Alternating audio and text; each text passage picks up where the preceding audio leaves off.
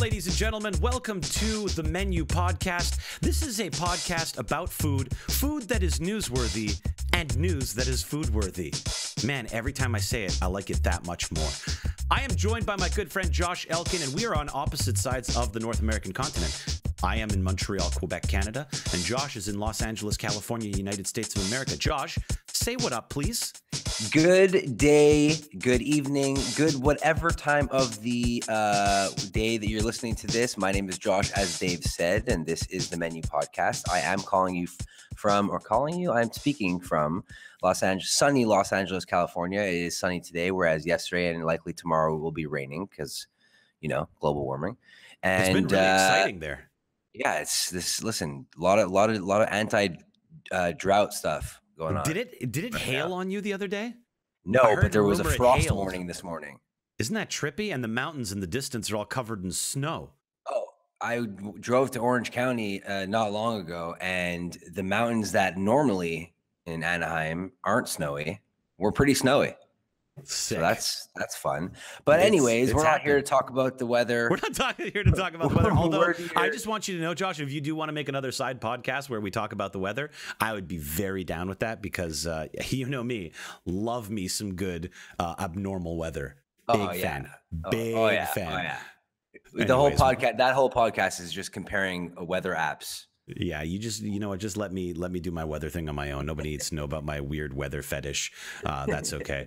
but um, so today we are going to talk about uh, food food in the news, uh, different news stories that uh, we've had our producers uh, working tirelessly to come up with really fantastic uh, and interesting news topics. And by producers working tirelessly, I mean Josh uh, pasting a couple of links into a Google Doc so that we could talk about food with you guys. Uh, Hey. uh, all the exciting things that have happened in the world. That's true. Uh, you know, Dave and I uh, on the regular talk about food news. Uh, you know, coast to coast. I'll call Dave sometimes and be like, "Hey, Dave, did you hear about this?" And Dave be like, "No, I'm in Canada, but did you hear about this?" And I, I'm like, "We don't have Tim Hortons here, Dave." Uh, so we thought, why don't we bring this conversation to you, and we can all talk about food news and news food together. I really love it. Also, news food, Dave, food news, I'm down with it. Dave, Dave, we, we we don't have Tim Hortons here. You know this. Why do you have to talk about Tim Hortons? Do you miss, just quickly before we get started? Do you miss Hortons there? I, I actually, you know, here's the deal. I, I love, I love coffee, as you and most people know. You know, And as most people do. love coffee. Yeah. And uh, coffee at Tim Hortons is great, but what I really love is that underwhelming, sort of not good, but I love it. Over cream cheesed, under toasted bagel. it's You know that one? it. It's it's perfectly garbage. It's it's perfect in a garbage. Perfectly sense. garbage. Yeah, it's Yeah. just it's a real piece of shit, but it's about as good of a piece of shit as you could possibly find. Yeah, yeah. And, I dare you to find a better piece of shit. It's hard. It's really hard to find a really good bagel outside of Montreal or New York City. It really is. I think I think the thing that you're you're getting confused though is you're longing for that garbage bagel, but also your natural uh, genetically uh, it's your your Canadian tendencies, your genetic Canadian tendencies uh, that makes you long for Hortons. The further you are away from a Hortons location, uh, the weaker your Canadian powers become. You notice I haven't seen you wear plaid in in a long time. Uh, your accent is starting to go. Do me a favor. What do you? What kind of uh, uh, it's Italian cuisine that you put sauce on is called? oh, it's called pasta. Did I just fully? Did I just fully Americanize myself? It, I no, did. just recognize that it's happening pa- slowly. It's happening slowly. It's like anti kryptonite. The further you get away from a Hortons, the more it sucks your Canadian powers out of you. Oh, it's like a it, it's like a rip in the maple leaf every every day. It's a little Yeah. rip in the maple leaf. but listen, the thing is, is that it is we're talking food here, and it is important to note that that perfectly garbage bagel is something that if I don't have it for like three, four days, I, I mean, I start to get, I start to have with, withdrawals. I get a little antsy. Uh, it- it's really devastating. Yeah, no, listen, I. It's not a joke. Like it is perfectly garbage. we all it's love not, it. It's not a joke. It's dead serious. Hey, I'm really, I'm, I am so serious about a bad bagel. So serious about a bad bagel right now. Um, without further ado, I think let's get uh, let's get onto these here topics we've got because boy oh boy have we got a whole shitload of things that we need to be talking about there, bud. That is so true, Dave. We have actually is a really exciting list. There, there are so many things on this uh, on this menu today that I'm really fired up about getting into. So let's let's start with the first one. How many things? There, uh, Ten- what did like we count? 10, we got like 10, 10 things. We had eleven. You, you took one yeah, I, cons- I consolidated, Consolidated. too. Honestly, two of them, I two of them were close enough that I felt like you know what, I'm comfortable consolidating these. You guys at home, guess which one I consolidated as we go through this podcast. Leave a comment in the in the comments that is your guess as to which one is. Leave a comment, Bad- and uh, depending Real on where game. you're, depending on what your media you're consuming this podcast at, leave a comment, or you could uh, you could you could uh, like, tweet or like Twitter most most people are like, leave a comment and win a chance, have a chance to win an Xbox, or uh, toss a like and let's see if we could get to hundred thousand likes, and then I'll do a video of shaving my chest hair. Uh, so it's like, let me know which menu items you think I consolidated. real exciting, real exciting shit. Um, first topic, Uh, and. I, I actually am really excited to talk about this. Uh, 7-Eleven is launching pizza, but not just any pizza, breakfast pizza. Yeah, Now- 7-Eleven, they already they already do traditional uh, pepperoni and cheese pizza. I think sometimes uh, depending on your geographical location, you might even get some some bacon on your pizza or grilled chicken pizza. Yeah. Um, and now 7-Eleven is offering a breakfast pizza. Isn't that isn't that interesting, Dave? so I didn't even know that 7-Eleven did pizza uh, altogether, but I'll tell you what. Uh, it makes sense. Uh, I, I totally recognize that 7-Eleven has never been a stranger to the uh, full meal game. And I think the thing that's always been the most surprising to me is how many people truly indulge in a full 7-Eleven meal. Um, I know, you know, when you're on your way to work and you're stopping for some uh, gasoline, or perhaps, uh, perhaps you need to uh, just grab a quick coffee, and 7-Eleven is the place to do that. It makes sense to jump in there for breakfast as well. Um, there's just something about convenience store food that has always scared the shit out of me. You know what it is for me? It's you walk into a restaurant, let's say Wendy's or McDonald's, and you know that there's specific people designated for the burgers or there's specific people designated for the french fries and, and everyone has like their role. You walk into Yeah. a 7-eleven the same guy that's giving you your gas receipt and uh, you know a pack of chewing tobacco is also serving you It's also like uh, tidying up the food, sausage tidying up the food, reloading that hot dog rotator, that little what is that thing? That's It's not like even a real monkey bars for hot dogs. Yeah, that's not even you don't actually consume the food on that rotisserie on that hot You're dog not rotisserie. supposed That's just for you. What it, here's the deal, Dave, and this is an actual educated uh, hypothesis: is that um, that is to that is, that is to hypnotize you, hypnotize you to look To- at the to- to other you. section of food, and you'd be like, "Whoa, those hot dogs really don't look good." It's actually a really sick strategy. A really here." sick marketing strategy is like tossing in something that's really particularly disgusting to deter you from buying that, so that you'll buy something that has a better, uh, better, higher markup. You know, high Yeah. risk, high reward. Uh, That's it. That I- that hot dog always say. rotisserie, it's a it's a it's a martyr. That's crazy. It's a martyr.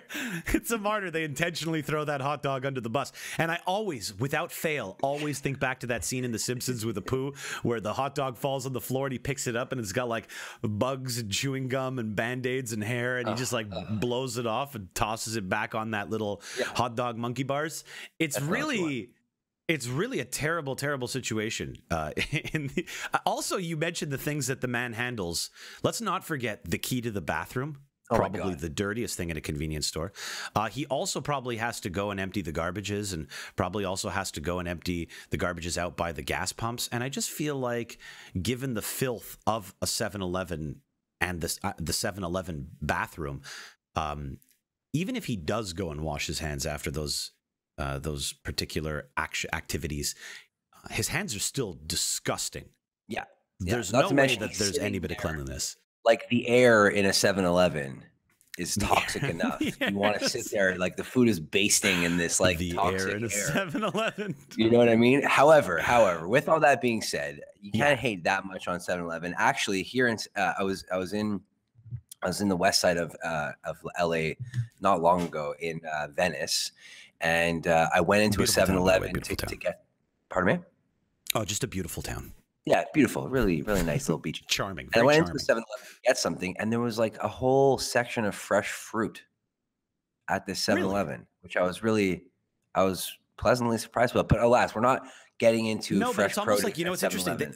7-Eleven. that- I, I I'll give them one thing, 7-Eleven, and I think that this is uh, this is very important to note when you're talking about something like breakfast pizza, because you normally would be like, "Wow, that's a very particular item." There's only certain restaurants that I would trust to pull off something like breakfast pizza, but I've got to give it to 7-Eleven in that they really are trying to um, uh, become the epitome of the convenience store. That they will literally offer anything that you would need from any other type of restaurant or food related store or but they even have like you know like like some minor items from a hardware store like i bet if you needed a hammer you could get it there or if you needed advil you could definitely get it there Oh yeah, uh, Oh, yeah. you know or or if you needed a just a jar of vaseline for whatever personal reason uh, that you may just be you know it's like 11 it's p.m. really dry. You're really stuck in you're stuck in like a random neighborhood and you just maybe need some Vaseline. Um, they have that. So it makes sense that they would have full meals because they're trying to sort of fall somewhere in between just a plain gas station, uh, gas, gas, gas, gas, gas station, and uh, you know, a fast food restaurant and a grocery store. It sounds to me like they're edging more towards grocery store. If they have fresh produce, still don't think I'd trust fresh produce from 7-Eleven though. Yeah, I mean, they had a bunch of bananas, so you know, you get their banana bananas are wrapped up, so you can't really mess up bananas that much. Let's be oh, honest. right. Well, I mean, yeah, you could grow it with. I guess it could get like it like in. I don't know how GMOs work, nor do I really understand the true threat Here's of what- the here- pesticide. But I will you- say that if you spray this shit, it gets in. It seeps in, bro. Yeah, yeah. It But here's what's right worse: the fucking- pesticides that are uh, you know around this produce, or or the Or the air of toxic 7-Eleven. 7-Eleven. I guess that's ultimately what it comes down to is trust. Would I try this? If I was in America and there was a 7-Eleven nearby and I had just heard that they were offering breakfast pizza, I think I would acquire one. If not just to find out what it could possibly be like. Um, Yeah, well, the the the description. Let's let's just quickly describe this. What this this this breakfast Yeah. pizza is because it's not a Yeah. traditional pizza with eggs It and bacon on top of it. it is not. It says It here is- on this article Go ahead. that we're uh, that, that we I found this at is that it's a biscuit crust topped Biscuit. with bacon, sausage, ham, scrambled eggs, cheese, and get this, a cream gravy. Now, Oh, no. First of all, I just want No, to say that, that's where they lost. Oh, no, sorry. I thought we were talking about a sandwich for a second, and gravy has no business on a breakfast sandwich. No, but, but I forgot pizza we're talking about pizza, and it does have to have some kind of sauce for it to be a proper. Why wouldn't they use hollandaise sauce? Oh, you don't want hollandaise sauce at a 7 it Eleven. coagulates. It coagulates, and also it's raw eggs. So if it's sitting for a while, that'll get really unhealthy really quickly. But you know what? Like just taking the whole convenience store, gas station like element out of this uh description, it sounds like a fantastic dish. It's so does. fantastic. I think you might even have to do it on one of your uh cooking streams. Just throwing it out there. What make this kind of breakfast pizza? You, should make a biscuit crust bacon, Yeah. uh, bacon sausage uh, pizza. And you know me, you know me when it comes to breakfast, I, I normally nine times out of 10, I'm getting all the meat. So the fact that this has bacon, sausage, and ham on it, It's everything you need. it's everything I need and want. The one thing that I really am not about is is old eggs. Yeah, old eggs are really sad, and especially since you know it's a corner store, convenience store uh, egg, you know that it's going to be that microwaved Yeah. sponge, Mm. and that when it sits can get real tired real quick. I guess the question is, yeah, because it's it's 7-Eleven, so none of this is being made to order. You're not walking in, going to a counter, and being like, "Excuse me, sir, I'll have the breakfast pizza." You're going into a little glass cabinet, you're popping it open, and you're putting it inside your own box. Like like they have those little boxes sitting beside those glass cabinets. Yeah, You're loading it up yourself. You're bringing it to the cash. You're paying for it, and then you're eating it. I feel like the only way that I would safely consume this is if I got there early enough that it had just come off the I, I The wanna only say- way I I'm eating say this the grill thing- out of the oven, but I feel like they don't even put it. It's probably frozen, right? They ship it to them. They ship it to them frozen. Yeah, it's probably like it's probably sectioned off. Like the bacon comes with in one pack. Everything no, comes like in their assemble. You think they assemble? Yeah, some assembly required for sure. You think so? I see. I would never. I would not consume this pizza unless I saw the person make it with gloves on first Yeah. thing in the Yeah, I need- first. I definitely need to know what they look like. That's very important to me. Yeah, yeah, definitely. um, uh, however, th- see that's the thing is that this old like old eggs, not about it. But I would I would take an old pepperoni pizza from 7-Eleven. like I would do that. I would. I mean, I guess yeah. So the thing with pizza in general, shelf the shelf life of, of a pizza is fantastic. Oh, yeah. it's one of the most. It's Arguably the the, best. repurposable. Is that a real word? Uh, real now. purposable uh, food items. You know, you could take it a day later and really uh, take any of the components and use it for something else, or just eat it uh, ice cold in its in its natural state, and pizza will withstand the uh, the flow of time better You ever than notice, any like, piece of the- food. You ever notice the life of pizza? Like you get it, it's super hot, it's delicious, and then it sort of Yeah. kind of kind of cools down and, and Yeah. coagulates a little bit and gets a little Yeah. hard, and then you put it in the fridge and it gets like white, yeah, yeah. and then I it gets to a point Sorry, go where on. like it becomes slimy and sort of Yeah. soft, and that's when it's it's you, that you can't have that anymore. That's like after a week probably. Yeah, after a week, it's no good. But I would say that like there's a weird period of time in between when the pizza is fresh and when it's in the fridge where it's actually not good. Not that it's not good; it's not as good as if you put it in the fridge. There It's like chalky. It's like chalky. Uh, it's also coagulated and room temperature. I would say ice cold from the fridge is better than that. I completely agree. But so the the shelf life of a pizza is fantastic. That's why I could go into a 7-Eleven and I would probably feel pretty comfortable trying their pizza regardless what time of the day it is, with the exception of this breakfast pizza because it's eggs, because it's creamy gravy, and I don't even know like what does that even mean? What kind? Oh, sorry, it is a cream gravy, not creamy. I read it incorrectly. It's a cream gravy, which means that it's made out of like heavy cooking cream. I don't know if I like that just sitting out like that. For Now, that is long. it- Even is it it is under cream? one of those heat lamps? Is it cream? Okay, but what if it was in one of those like uh sauce hot tubs? Sauce tubs and you apply you it know yourself. There's no way. There's no way that the assembly is done by by the human in the 7-Eleven, like by the, the customer. There's no way. How would they do that? Would they let people in and start like handling the meats and choosing how much meat they get, and then they choose the ladles of gravy? It's not like a pizza buffet. Now, No, if you're 7-Eleven about wanted that. to open up a pizza buffet and you charge by the weight of the pizza, I think that would be pretty hype. Also, think it's a little too advanced for 7-Eleven. I think a pizza buffet restaurant with like all just things fantastic. pizza is probably an awesome idea. It really makes me think back to the Pizza Hut out there. buffet, which we don't have anymore in Montreal. Uh, rest in peace, Pizza Hut in Montreal. Uh, the Pizza Hut buffet was just such an excellent, excellent concept, regardless of the execution. that Pizza Hut near your near your house doesn't exist anymore. I think it does, but I don't think it does the buffet anymore. Okay, fair enough. Uh, anyways, back wrong. to I could be wrong. Back to this. You know what they say? I'm just reading the end of this article, and they they're saying now 7-Eleven is claiming that the breakfast pizza has become the second most popular pizza with their customers. I'm sorry. Could you say that again? They say 7-Eleven says that the breakfast pizza has become its second most popular pizza with their customers. Now, is that because they only have one other option or two other options? Like, how good can it really be? I feel like I have to go out there and try one. When did they? When did they release this? Announced the creation on Tuesday. Uh, Tuesday, like two days ago. Yesterday, So- excuse me.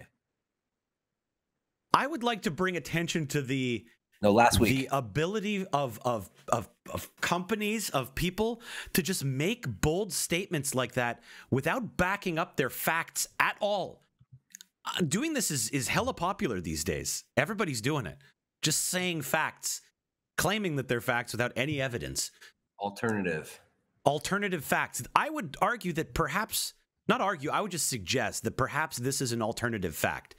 It's only been it's only been a couple of days It's How been a week. Possibly. How have they? Where are they getting their analytics from that they can come up with this, this numbers? breakdown? Yeah. Do they know how many they're selling versus how many are going in the garbage because of that aged cream gravy? I just feel like that's like second. Okay, fine. You know what? Maybe it is fair. Actually, it's their second most popular pizza because they only have two pizzas. Their That's first pizza is pepper. Yeah. First pi- pizza is a pepperoni pizza, and then this one. Oh, it's their second popular pizza. They failed to mention that it's the only other pizza that they sell. Yeah, if, if that's the case, then you got us. You did yeah, it. You got us. You you, You you really us. manipulated the words. This so it's not an alternative fact. It is a true fact. yeah, by definition. I just What like, kind of what kind of world is it that we're living in where we ac- actually have to say a true fact? so just a just, I want to know like what their normal breakfast lineup is. yeah, yeah. You know, like, I- they're they're claiming this because it says here that uh the um what did they say here? It says here's the Irving Texas-based company says that hot pizza has become one of its biggest ready to eat sellers and mornings are the be- busiest time of day in its stores. People so are I totally people are believe that. Without a doubt. People are, are not going to a 7 Eleven in the middle of the day or around dinner time nearly as much as they are first thing in the morning. They're going to fuel up or they're going to go grab a coffee, grab a snack, grab some treats for the rest of the day before they get to work, right? They're not going to go there in the middle. Uh, well, I mean, there are people, I'm sure, but not nearly as many are going to go there middle of the day during a break or or after work, uh, let alone to go for a meal. You know, whereas I feel like first thing in the morning, uh, people don't make breakfast at home anymore. Everybody goes out to eat breakfast somewhere else, whether it be a full sit down breakfast restaurant or, you know, we were talking about that Tim Hortons garbage bagel, or we were talking, we talk about uh, McDonald's breakfast. That's where they're getting them. That's where they're going for their breakfasts. And so I feel like 7 Eleven, by making that statement, I mean, yeah, it's that just makes sense. That's just something that that has been trending for a long time. Here's the funny thing. I'm actually on the 7-Eleven website and to tell you something, Dave, there is no breakfast pizza in sight. No mention of the breakfast pizza at all. No, there's three pizzas. There's pepperoni pizza, extreme meat pizza, and the triple cheese pizza. Not only that, but furthermore, when I go into uh, breakfast, there is still no breakfast pizza. So now I'm trying to think: Is this a farce? Is this a lie? No, it's Associated Press. This news is reported by the Associated Press. Would they flat out lie about something like that? No, it's got to be. They just haven't updated their websites yet. They updated they updated their stores with the pizza. They haven't updated the websites yet, and that's okay. Uh, I'll Fair give them time. You know, web development is not a, just an easy thing. You can't just snap your fingers and suddenly it's done. You know, so I'll, I'll give it. them that. I'll give them that. Um, I think. Uh, so final final thoughts on 7-Eleven pizza, Josh. Final thoughts are: uh, If I was in a 7-Eleven and I saw a breakfast pizza, I would certainly take a picture of it and not eat it. I thought you were- I thought you were gonna say, I would absolutely try it. Uh, I would certainly take a picture of it. Great call. So you wouldn't eat it. So that's not your No, jam. And I, just I, I don't blame about you. Thinking about old eggs. It Yeah. just it really and you know what? I love eggs. You know I yeah, I love know. eggs. You're the champion of breakfast, the I undisputed am, champion. I of am the breakfast. undisputed champion of breakfast, except you hold the world it title. Just old eggs, man. Like, come on. How I do you like an that. old egg? Old So sweaty to- eggs? to What? your point, then I would say sweaty eggs. To your point, I would say, um, I would try it if it was before 10 a.m. I feel like they probably put those things out at six, maybe 7 a.m. Four hours is about as long as I would be comfortable to let that thing sit under a heat lamp before You're I would have to before I would have to worry whether or not I would I would gain some kind of flesh eating virus from it. You are generous, my friend. I, I'm also I'm also dangerous. I'm daring. People call me Daring Dave. They've been calling me that for years. I take all the risks. Never heard that in my entire life. Known you for 20 years. Produces Never heard highest- anyone call highest Daring rewards. Dave. Absolutely, li- liar. all my friends do. Hold on, as I as I sit here and, and Google the closest 7-Eleven. you just he just needs the picture. It's for social media purposes. Uh, all Hold right, on, well, I just turned on my Google Home. Hold on. Okay, Google, turn off. Sorry about that. So 7-Eleven, you could keep your pizza unless Yeah. it's really early in the morning and I'm very desperate and I'm in terrible shape, coming out of a bar or a club, like really hurting, and I need something to eat. But the only hey- thing is breakfast pizza. Hey, to all of our listeners and viewers out there, if you by chance pass by 7 Eleven and you see a Yeah. breakfast pizza, please take a Try picture it. and hit up Dave and I. We would love to see what it looks like. no, you um, guys try it. You guys tell us what it's like. Yeah, yeah, yeah, yeah. We'll live vicariously through your taste buds. this yeah, time. yeah, yeah, and your immune systems. Next up on the docket, Ooh, I'm excited about this one. Oreos. I am so excited about this one. So I, here's the funny thing about this, Josh, is uh, last week we talked about Oreos and we talked about the Oreo cream egg. And during that conversation, we had discussed how uh, Oreos seem to ebb and flow in terms of popularity or or or crazes. It's almost like it goes through all these like series of fads. There's like an Oreo fad every two years where Oreos just pop off. I don't know if that makes it a fad. I don't think it's fair to call it a fad, but you know, fad is something that's here that that's limited uh, limited time, limited shelf life on the popularity of said item, whatever it is. Oreos go through those those short periods and then they disappear for a while and then they come back. And we called it last week. There is a resurgence. Oh yeah, big time. Have you have you felt it, Josh? There's been an If- awakening. Oh, I have felt it. And in fact, I, I just got in the mail chocolate bar Oreo. What? Oreo chocolate bar. Oh yeah. Ordered from Germany. What? It is it is a chocolate bar with Oreo on the inside. That's remarkable. Remarkable. But alas, we're not talking about that at this No, present but it's moment. just it's it's Oreo is back. So uh, here so it is. back. Here it is. This is. Uh, let me pull this up for you guys. You could see some of the items. Uh, ignore the HyperX Savage SSD advertisement, but if you do want to get uh, a solid state drive, HyperX offers the qual- the highest quality. No, we're not getting paid by HyperX. Fuck those guys. Uh, McDonald's serves up an Oreo McCafe menu in Hong Kong. So this is not here, which is sad. Not yet. Not yet. I hope that they apply this to all McCafes because McCafes uh, have not given me a reason to visit them yet. I still like getting my coffee from McDonald's through, as uh, part of the drive-through. I agree with that. I have not gone in for some fancy latte, some espresso twisted something or other with a fancy whip on top. Haven't rocked any of that. But this may, just may, give me the reason to go through their door. They have ordered up, uh, partnered up with Oreo in Hong Kong for a new limited time McCafe times Oreo Oreo Thins Delight menu. Oreo Thins, those are the real skinny, like cracker like Oreos, right? Yo, honestly, don't sleep on Oreo thins. I I didn't give them the time of day. They're quite delicious. They have this like crunch to them that normal Oreos don't have, and it's really it's it's it's quite pleasant. Same flavor. Yeah, same deliciousness. Huh. So it's just an alternate Oreo, but as long as you have the same flavor, I think that's okay. Yeah, for sure. The the chocolatey menu comprises two desserts and two drinks. Oreo tiramisu, Sounds as well as the chocolate cheese tart, also which is- delicious. which is a baked Oreo tart shell filled with melted chocolate and cream cheese. It's a bit like a mini Oreo cheesecake. Josh, why Yeah. haven't you made Oreo cheesecake yet? I know. I think I should probably do something like that. But now I'm thinking like uh, it's just going to be like the McDonald's menu. Clearly, like this. I'm looking at this picture. I don't know if if anyone could see it, but Good God. If you want to if, if you're if you're just listening take note google it when you get home um, there is an oreo milkshake which looks ridiculous every one of these items is just covered in crushed oreos Yeah, which is crushed Oreo. It looks like they've crushed like two to three cookies and scooped them on top of whatever beverage it is that we're looking at. Be it the latte, be it the uh, the uh, there's uh, there's uh, the tiramisu, there's uh, there's the milkshake that Josh mentioned, uh, and each of them has one solitary Oreo stuck into the uh, crushed remains of his friends. I mean think out of all of these uh, menu items that you listed off personally the tiramisu is the thing that hits home with me i love a Yeah. good creamy delicious dessert Yeah, personally i love yeah, that me too. Yeah, Um, and you know, the, here's the deal: is you know that McDonald's does Oreo well because the Oreo McFlurry is just straight up delicious. it's ar- arguably the best one. Yeah, I know a lot of might- people are all about like the strawberry sh- uh, cheesecakes, Mhm. shortcake, whatever it is. There's, uh, you know, people really like. Uh, uh, I think they they do uh, they M&Ms. do, they do an M and M's.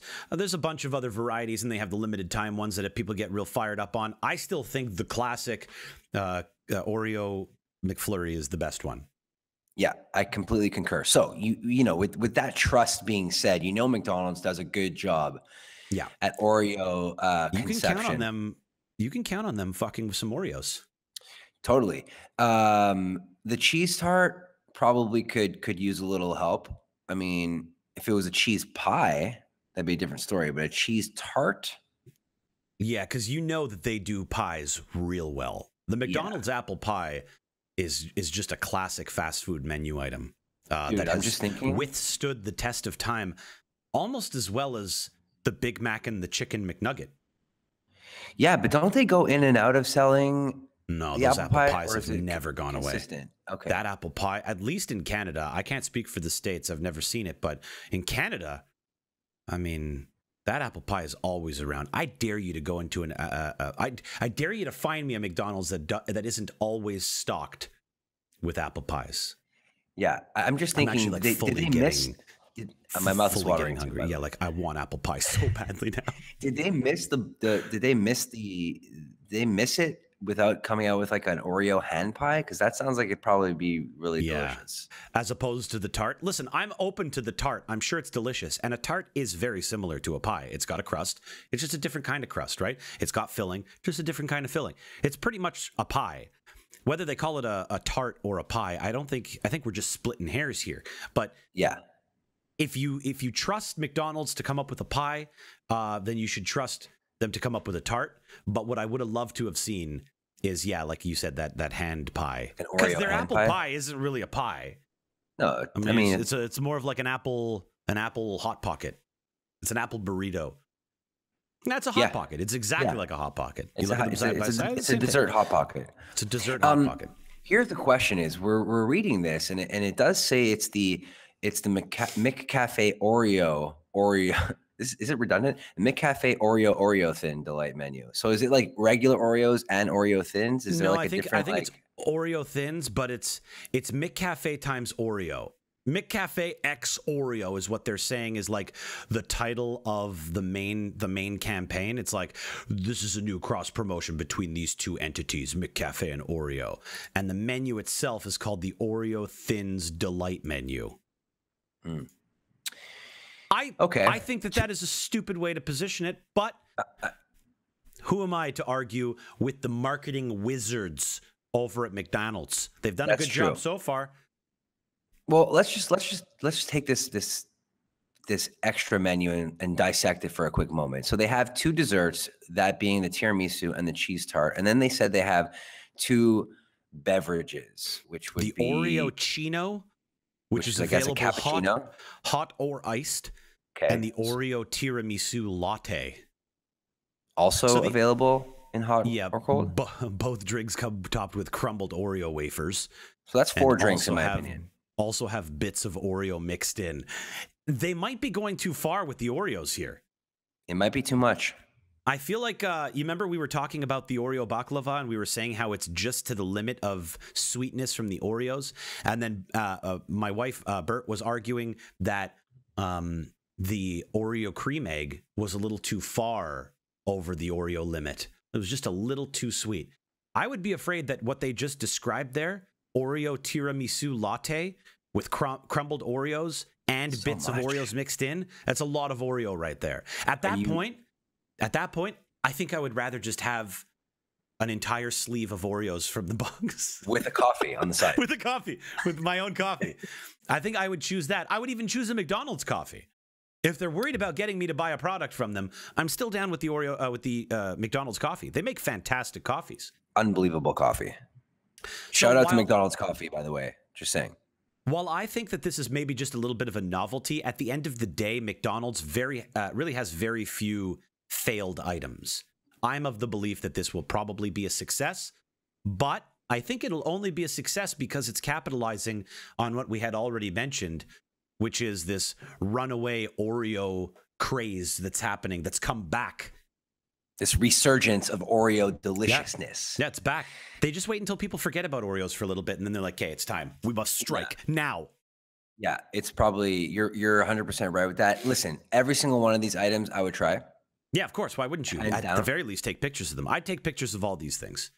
Yes, and take at least a bite and a sip. Uh, what one thing that I would actually very much like to try is the Oreo Chino because I'm a huge fan of the Tim Hortons iced cappuccino. Now, for those of you that aren't aware of what that is, it is a frosted beverage that uh, comes with uh, like a real chocolatey, syrupy cappuccino filling, uh, yeah, syrup, syrupy mixture. Uh, they they blend it all together with the crushed ice, or it's almost like a pureed ice, uh, and you have yourself a nice, refreshing uh, iced beverage. Very, very sweet, very, very unhealthy, but very delicious. Might as well eat a, eat a Big Mac at that point. Might as well eat a Big Mac. I would be very curious to see if the Oreo Chino is even close to an ice cap, or does it surpass? Does the Oreo take it up that that that one level that it needs to go to surpass the iced cappuccino? I'd be curious in trying that. I'm just saying you should probably just go and get a box of Oreos and a and a and a ice cap, an ice cap, and just DIY that together. shit.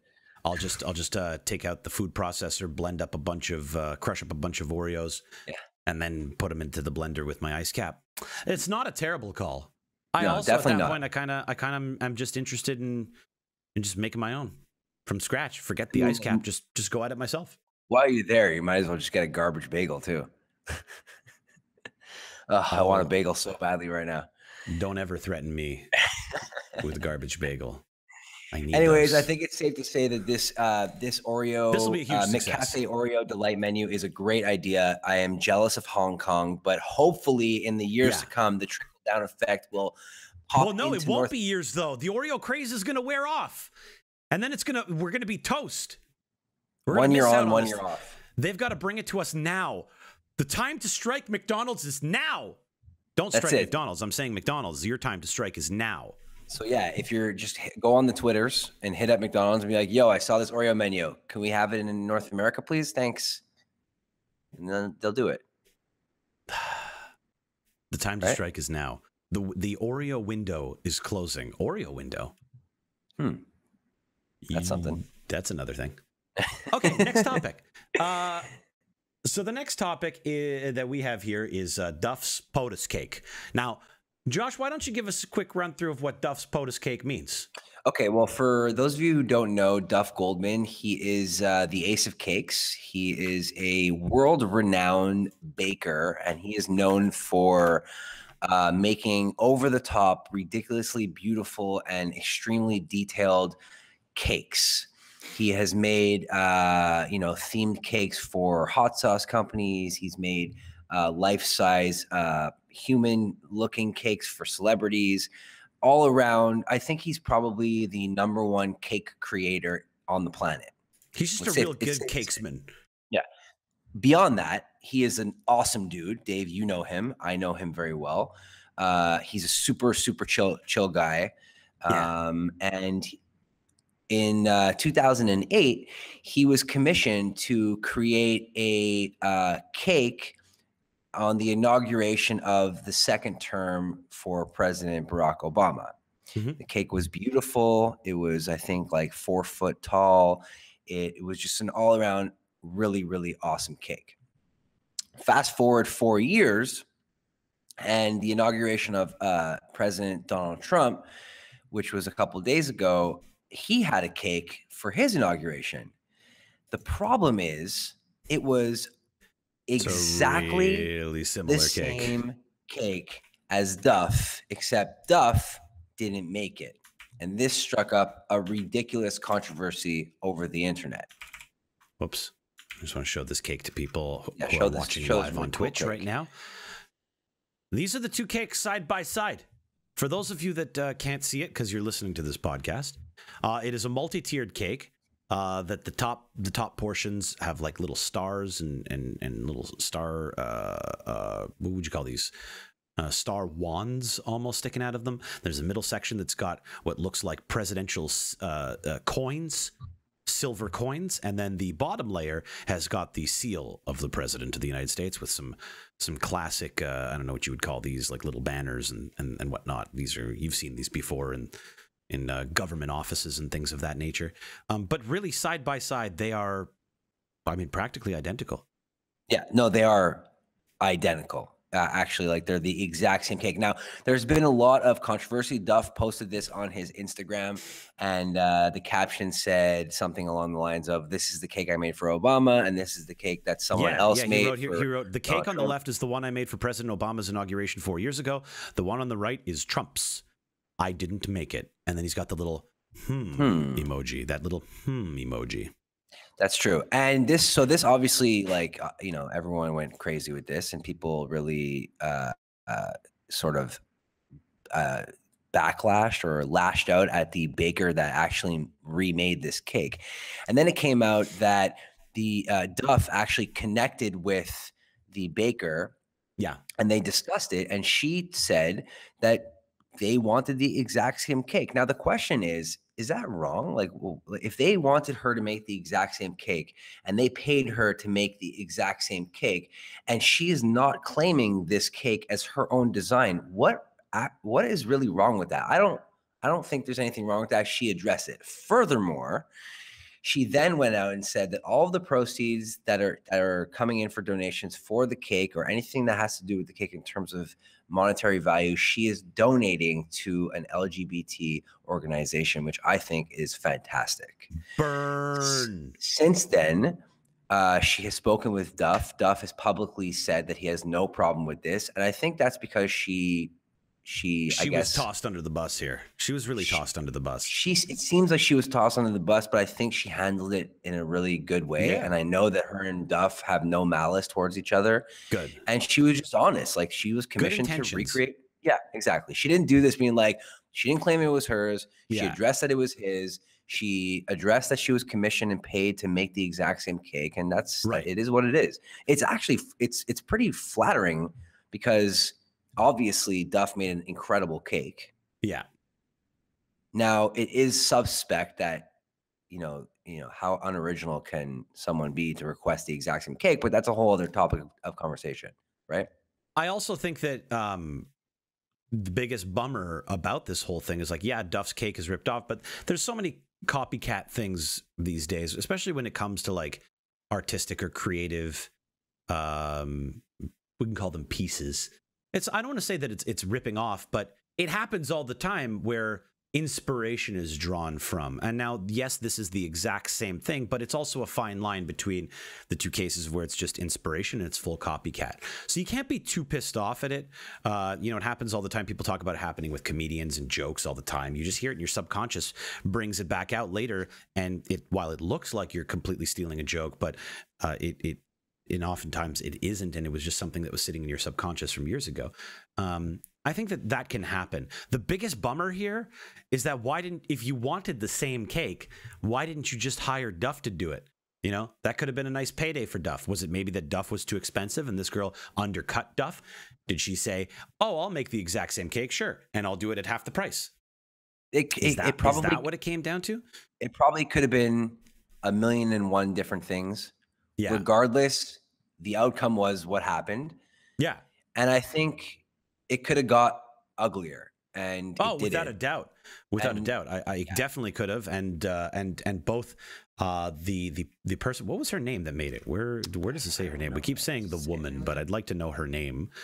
Uh, doesn't doesn't say. So hang on, hang on, hang on. Um, nope, nope, does not say her name here, does it? That's okay. Oh, I don't think so. I guess She is from Washington, just- so she's local. Maybe that had to do with it. I guess. Hold on. Her name is uh well, local. Duff's from Baltimore. It's like the next town over. Yeah, it's pretty close. It's pretty. It's Right? close enough. It doesn't say her name, but Either way, she, she made a great cake. she made well, he made a great cake and she And she was she- really good. She was really good She's at, really at, good uh, at, at carbon copying it. yeah. So here here's the the um the bakery. It's called Buttercream Bake Shop. Buttercream Bake Shop. They are very good at making cakes. Her name is Tiffany. regardless Tiffany, regardless of whether or not it's an original cake. Either way, Yeah. the bottom line is really wish I could eat this cake. Looks so good. also, would be really hyped to just be able to say, I ate the president's cake. Yeah, totally. Like, regardless of which president, I'm down to eat the president's cake. Yeah. Just be a really good story. Just be a really good thing to have on uh, on your CV. You know, when you apply for a job, be like, "What's your experience?" Well, this one time, mention. this one time, I ate the president's cake. Is that a euphemism for something else, or no? Absolutely not. That is, uh, No, no, I, I ate his cake. Um, well, sorry, Duff. Uh, way to go, Tiffany. Uh, the bottom line here is um, cakes are awesome. Cakes are awesome. Uh, imitation is the highest form of flattery. There you go. That's what I was looking for. You nailed she it. Exactly. seems to be really cool about it, and beyond that, Duff being a very cool guy is also very Yeah, cool about it. chill. So it's safe to say this this is all good. Yeah. Next topic.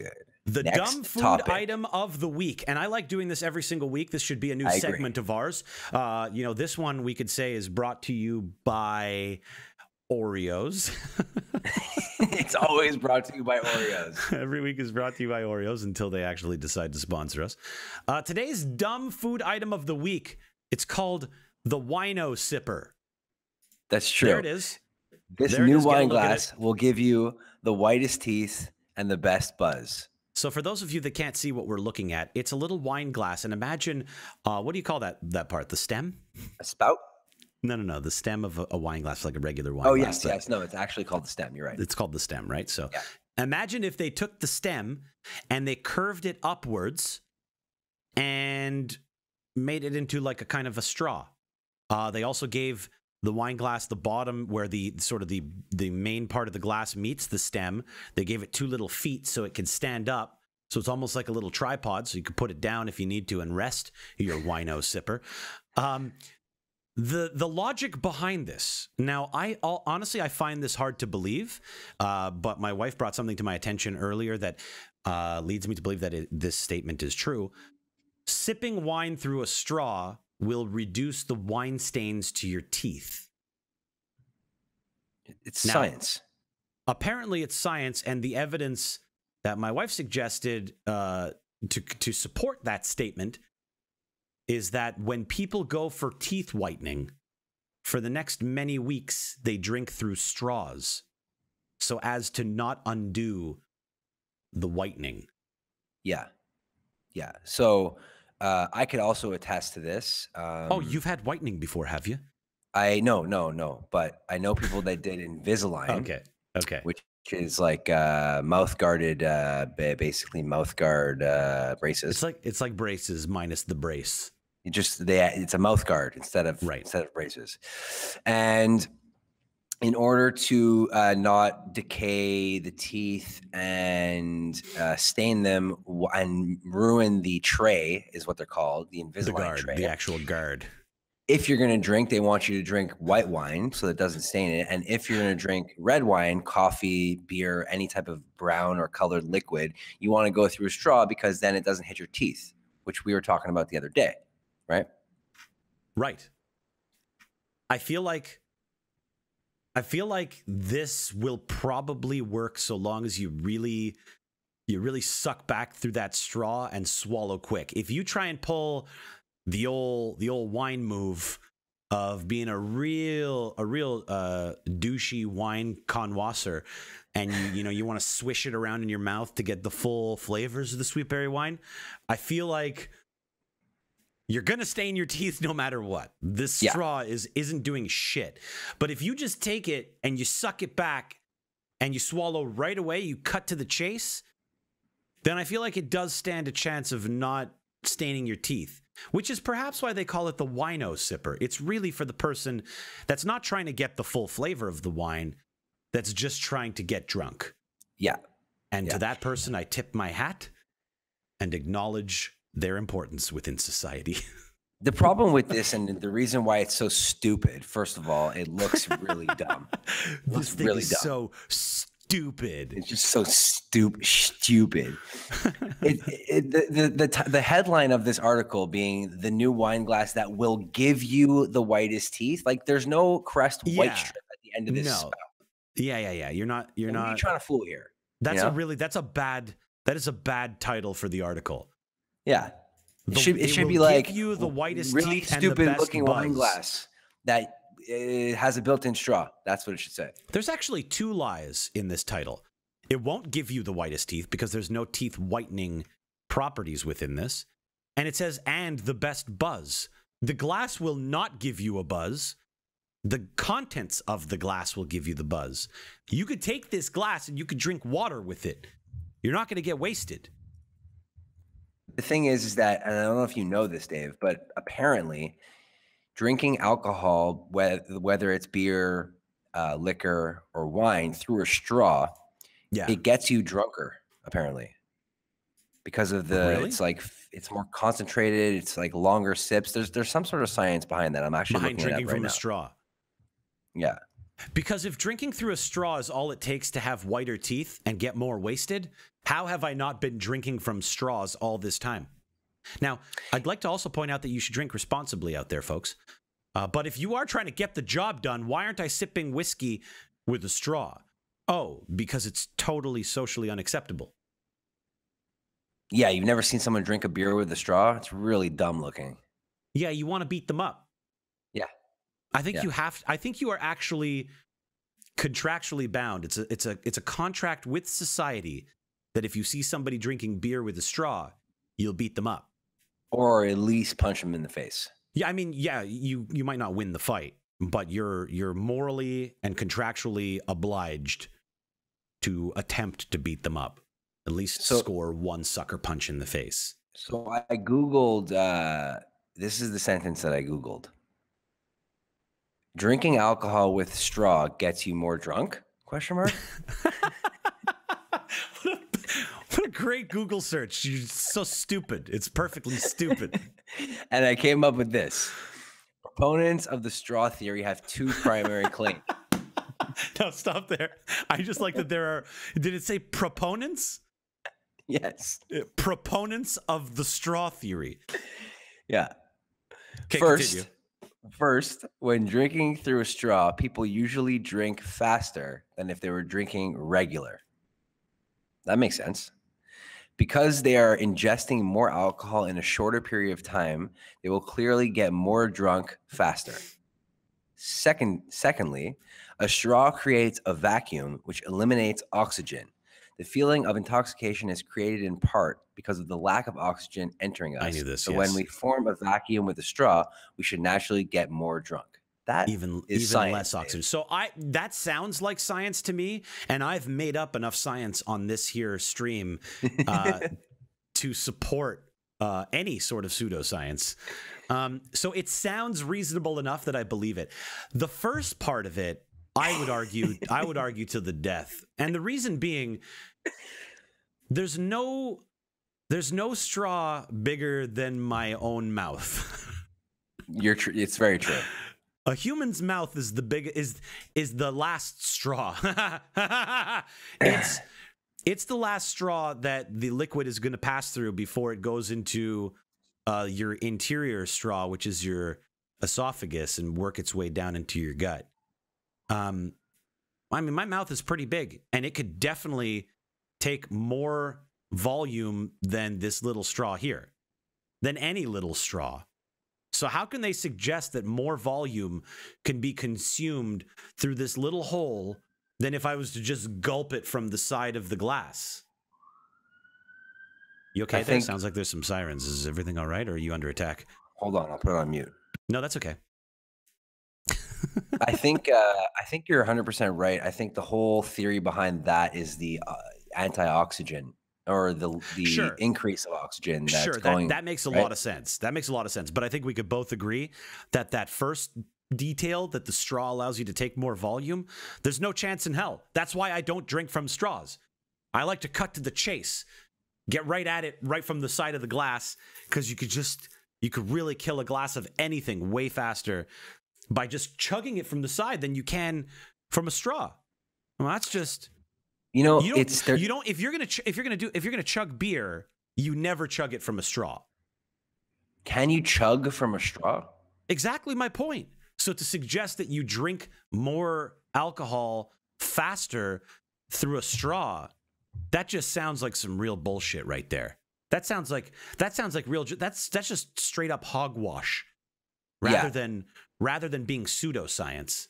Yeah, it's definitely hogwash. Which, by the way, I hear if you chug hogwash with a straw, you get the most wasted. Only with a straw, though. You can only chug hogwash with a straw. I don't know. It, it, really it- this this this last paragraph ends off with a lot of science saying that uh, by creating a vacuum with the straw, the boiling point of alcohol falls and alcohol vapors are What? created within the straw. Then Shut inhaled the into the fuck lungs. up, I'm thinking, alcohol who- vapors. who dr- drinks boiling alcohol? Like, get out of here. No, You know, that is I've- definitely. I feel like that's definitely a thing that people have done to get really exceptionally wasted. Is they just like put put, put like wine on a pot and like stuck their face over the vapors. I think it's a really sick and twisted move. Um, and and and I'm I'm if you are that much of an alcoholic, I I hope you will get the help that you that you need. but Um, it could be done. Yeah, it could be done. By the way, just to uh, because I am very curious about what hogwash is as well. Did you just Google hogwash? I just Google hogwash and it's just a synonym for cheap liquor. Really? Wow. That's a that. that's some uh, that's what I'm going to refer to it now. Anytime somebody brings up alternative facts, I'm just going to say that's real cheap liquor right there. you keep that. That's real cheap liquor. Anyways, I guess the, liquor. the final word on the wino sipper, I'm never going to buy one. That's just No. stupid. But I would No. like to buy one for my friend MF Pallytime because he likes to drink wine in ridiculous ways. And that's a Oh, good and if you way to drink wine. if wine. you can't find the wino sippers in your local uh, bodega or uh, or uh, whatever uh, that store that had that fun fun stuff. 7 Eleven. No, no, no, the one there, uh, Spencer's Gifts. If you don't have those things, uh, just go to your local hardware store and grab a teapot. looks exactly like a teapot. Just drink it from a teapot. Just drink it from That's a a sick move. I like that a lot. Because the wino sippers, two of them are twenty four dollars. That's ridiculous. That's a kidding me? lot of money. Like I can go to the dollar store and get a hundred glasses for twenty four dollars. Yeah, yeah. Oh, that's such a ripoff. Anyways, that, that it's safe to say that was the dumbest food item or whatever of the week. Ugh, Yeah, dumb. they did it. They earned the spot. Brought to you by Oreo cookies. Next up on the menu, new V Day treats. Now, I'm excited about this because every single year for Valentine's Day, the most uh, manufactured of all holidays, they release a whole new set of products that you've got to buy. It Because really otherwise, is. otherwise, you can't tell your significant other or that special person in your life that you love them unless you spend money on them. By ways of chocolate. You know, you, you just you just can't. You can't buy you can't express love without chocolate. So let me just pull these up here for those of you that uh, are listening at home uh, and don't see what we're talking about. I'll describe them to you. The first item. This is so this is Walmart exclusive. This that's very important fact we should mention. These are exclusive to Walmart. Valentine's Day ca- uh, candies for 2017, including new white chocolate cheesecake M&Ms. Wow, by the way. They sound Wow. very hype and they sound like they would be able to accurately describe how much I care for another person. Yes. assuming I care for that person a whole lot. Yeah, you basically what Walmart is saying is that you don't care about anybody until you buy them white chocolate M&M cheesecake. I mean, these are just really these are nice looking. I mean, if there's one thing that M&M does very well, it's spin-off varieties of M&Ms. They have a lot of good ones between uh, the original spin-off, the peanut M&M, which I would argue is one of the greatest chocolate candies of all time. My favorite, by the way. Uh, just just terrific. Nothing but good things to say. They did uh, M&M minis. They did uh, you know almond M&Ms. They did uh, uh, uh, crunchy uh, peanut butter Pretzel. pretzel. They just have so many different varieties. Mint chocolate. I heard I, I heard one uh, a little while ago. Car- caramel, caramel. Car- caramel uh, M&Ms. There's Yeah. no doubt in my mind that white chocolate cheesecake flavored M&Ms are delicious. Uh, I would love to try them. and nothing says I love you quite like that. That's very true. Very true. I'm gonna actually go and hunt these down because Yeah. darn tootin' these sound good. A darn tune. A blend of cheesecake and graham crackers uh, in a white chocolate center with a candy shell in Valentine's Day colors. So you know, you know that the love is real. And you have that- in Valentine's Day colors, which are the colors of love. I don't know if you guys know this. The colors of love are pink, light pink, and slightly off pink. My favorite part about these M and M's with cheesecake is how sexy the green M and m is. Damn, that green M&M looks good. Is that the same? hot. Is it the same? Uh, that's not the same female. I don't want to. I don't want to assume this M&M's gender or anything. But I, I am I correct in saying that the female M&M was not always green? I'm She's pretty green sure in she the picture was. here. She's green in the picture here. Was that the one? It was always her. You talking about like that awesome commercial Like where the they're one- having the sick house party? Yeah, It's like and live action M- M and the- M's. and the female M&M is there, along with the male M&Ms and the attack helicopter M&Ms. And Uh, I'm pretty sure she was always green. Was she? So they're sending real mixed signals here because the the colors of love are clearly pink, light pink, and off pink. How could you possibly suggest that this green M&M is full of is full of love? Oh, that sounds terrible. Don't fill this Ah. green M&M up with your love. Either way, I want it. I want it bad. Yeah, I definitely want to try them. I'm curious. Uh, unfortunately, I can't help but feel that just like every other M&M variety that ever uh, graces the the shelves of a store, uh, I am always, always uh, going to pick peanut M&Ms 10 out of 10 times over all the others. Yeah, I peanut M and M's are those types of treats for me where I don't care that I'm going to have a stomach ache. No, not at You know, all. I don't care. Don't I'm, care. I'm doing it. No. I'll continue to eat them forever. That's what I'm saying. That's what I'm saying. Um, the next item that they have here Hershey's Conversation Kisses recordable message heart. So this is very much a gimmick. This is Oh, yeah. this is them saying, okay, okay, okay. Maybe just maybe purchasing chocolates isn't enough. Maybe you actually need to use your vocabulary and express to the person that you love how much you love them. And since Yeah. and since cell phones aren't available in in many places, that now- kisses are.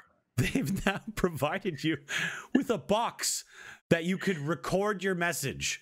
These candies come in a record and play box to capture any Valentine's Day messages you'd like to include. The milk chocolates inside come wrapped in foil, sporting messages like hug me, XOXO, you're sweet. Ugh.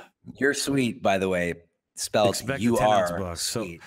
Because they couldn't they couldn't fit the Y O in there. So The let me get this straight. E. No, of course, there's not enough room. So let me get this straight. Not only does the chocolate say I love you, the recorded message that you've recorded says I love you, and then the actual kisses themselves have little messages on them that say I love you. So this is really the trifecta of sharing love, love, love sentiments, sentiments of love. Uh, this is stupid because a 10 ounce box is $15 US. Oh my God. And it's only 10 ounces. Like you're probably getting 10 chocolates. You're probably getting just a handful of chocolates, but you could record a message. That's so you know annoying. the problem you know, is? I would just end up using it to record a really offensive message. Yeah, it'd be so dumb. No one's doing It- this for for real. It's like No, those. I- it's if I like was those to do re- it, I would- record- Go ahead. Sorry, go ahead. No, you go. No, you first. You're the man. dude. it's like it's like those really annoying uh, greeting cards that you could record your own message that clearly no one ever did ever. Yeah. That's what Yeah. it's like.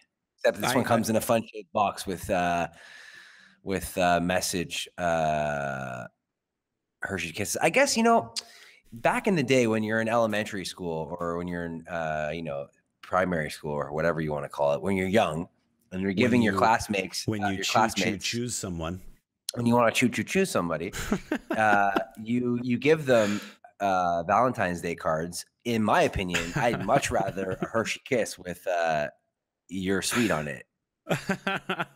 Come on. For Yeah, that absolutely. they got it.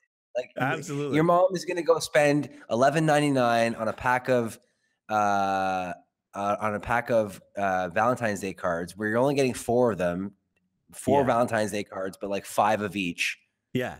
Or, or your mom can get you the conversation box from You just- You just give it to one special person. You take all the chocolate out of it and you record Yeah. a message being like, whoops, sorry, but here, here, be my Valentine. Not bad. Not bad. it's like, oh my god, this is so nice. All these chocolates in here, and then you press play on the record, and it's like, go fuck yourself, Susie. Yeah, you open up the box and it's just the wrappers. It's just the No wrappers, and it's got a real aggressive, hostile, hostile message. That's what would end up happening. All these kids would fully take advantage of it. They would end up giving it to their buddies. You know, nobody would give it to like an actual Valentine. They would give it to their buddies with real profane messages in it. And Yeah. I, you know what? I actually think that this is a brilliant idea. The, this You know- should be available in, in elementary and high schools all over You know, it'd be so funny. so that kids could be telling each other to fuck off. Yeah, like you broke my heart, so I melted all these chocolates, and here's a box of melted chocolate. Here's a box of liquid chocolate, you idiot. Thanks for breaking my heart. Here's a belt Oh, box of melted chocolates. That's so Go good. drink, go sip from this box. The final item on this list so is dumb. the is these Skittles Valentine's heart shaped box. Now, I'm really happy uh, that we included this because this just really illustrates how stupid a manufactured holiday like Valentine's Day is. Uh, as you know, I've always been an opponent of the uh, Valentine's Day as a whole. Uh, my wife and I have never have never celebrated and I use air quotes, have never celebrated Valentine's Day ever once. Uh, we are anti Valentine's Day. Every year, we both recognize that we will never uh, love each other because a bunch of companies and organizations suggest that we should. We will love each other because we fucking love each other. It's actually one of my favorite things about you guys that I use. No, on the we've regular. never bought, we've never purchased flowers, never bought her chocolates. Uh, she's never bought me anything, and we both love it. We're both very happy and secure in our relationship, knowing that we love each other because we do, and not because somebody else is saying we should. This illustrates that the most because there is nothing different about this product. This is a plain Skittle. There's nothing different about it. They recognize that the Skittle is one of the greatest candies of all time. Why change something that isn't broken? So what we'll do instead is we'll put the make the box heart shaped and allow you to use it as a Valentine's card. Which really all that this is doing is increasing the price of Valentine's Day cards. All it's doing is getting people to spend more on their Valentine's Day cards. Whereas a card is probably like you said, you could probably buy a 10 pack for 5 bucks, right? Give them out to 10 friends of yours that you want to say, "Hey, have a happy Valentine's Day and I really care about you." But this is for one person exclusively. So if you wanted to get it to 10 people, you're dropping 50 bucks. Yeah, and realistically, all you need to do is go and buy a pack of Skittles, and then go get like uh, a post-it note, cut it Yeah. into a into a heart, Absolutely. stick it onto the pack, say Yeah. to Dave from Yeah. Josh. Yeah, and and, it says Valentine's. and it says I choo choo choose you and chew is spelled C H E W. Oh, that's good. That's good. You know what?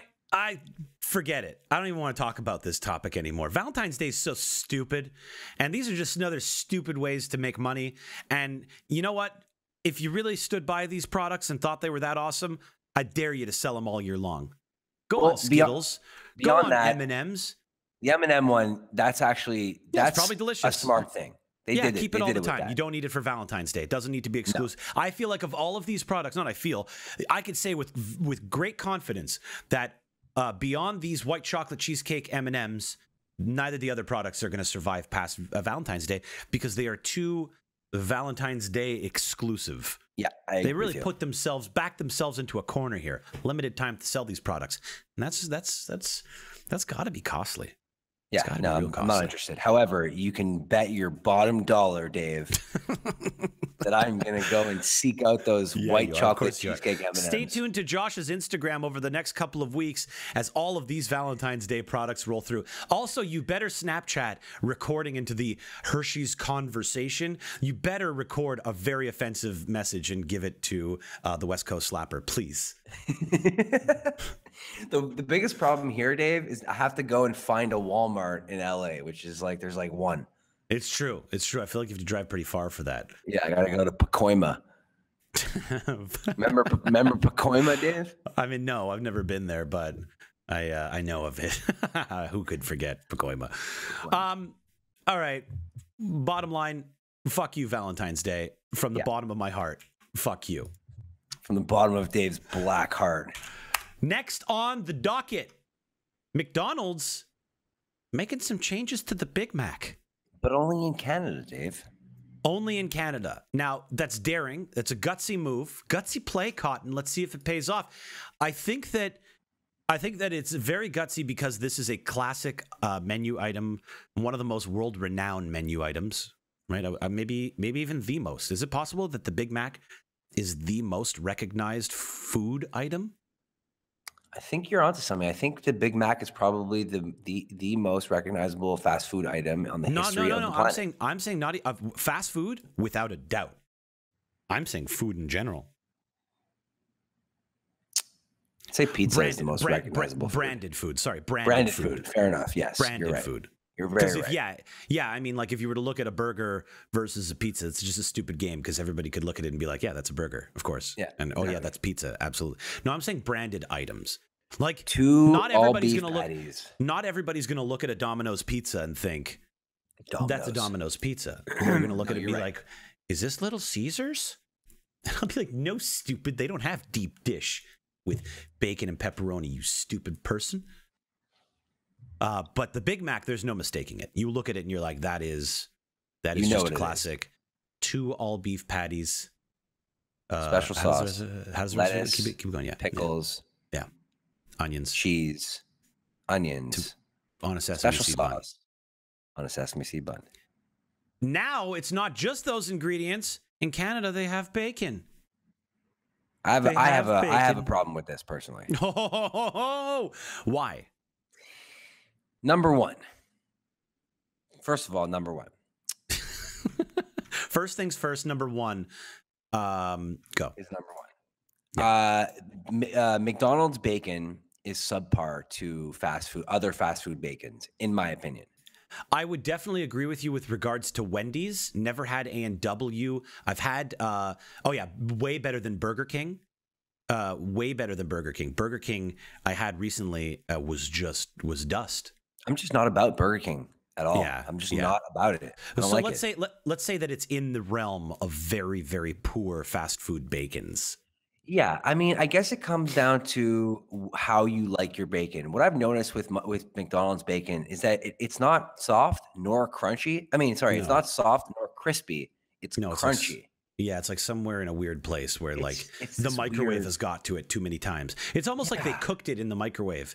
They didn't cook it in in an oven or on a pan and then freeze it for transportation to the restaurant. It's almost like they cooked it in a microwave like at the restaurant for the first time. Yeah, And you know weird. this bacon's coming out of a drawer. Yeah, definitely out of a drawer. It's kind of dehydrated. Uh, it's really it's not it's not particularly great bacon. Like I will I will pick Wendy's bacon 10 out of 10 times over McDonald's bacon. That is for sure. Oh, not even but a you question. but you were going to say your second your second point about this. Your second problem with this. My second problem about about this is why are you messing with the Big Mac? It's, Yeah, it's already so perfection. delicious. It's Like perfection. you're you're you're you're fundamentally changing what is a delicious a delicious equation. Like Mhm. you're completely you're it's it's almost you know you know what I compare this to? It's like taking your favorite slice of pizza and making it whole wheat. Oh god. It it's it's Well, the same is it ingredients. Is it cuz you do that in the hopes of making it healthier? Whereas I mean, you're not you're not making anything healthier by adding bacon to it. You're making you're it not. better. You're hopefully making it better, but you're not making it healthier.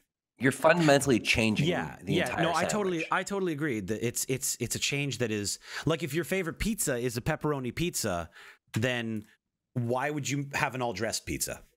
Like you're not going to order an all dressed pizza if your favorite is pepperoni. The extra ingredients, while on paper make it seem like it should be better, it's it's not. It's not as good as just a plain pepperoni pizza. I think it's closer to that analogy, which is still isn't a very good analogy. We're both kind of kind of dumb, but I, I feel that hmm. you're right. Why would you try and fix perfection? And the Big Mac is Uh, fast, I would argue it is the closest thing to fast food perfection.